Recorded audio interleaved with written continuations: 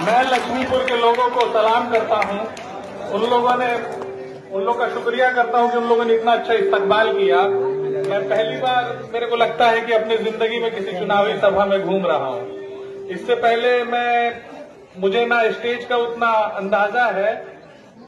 इसलिए कि देखिए, ये नफरती दौर चल रहा है और बेरोजगारी का दौर है। और इस दौर में हम लोग अगर बटेंगे तो ज़ाहिर सी बात हम लोग के विपक्ष को फ़ायदा होगा।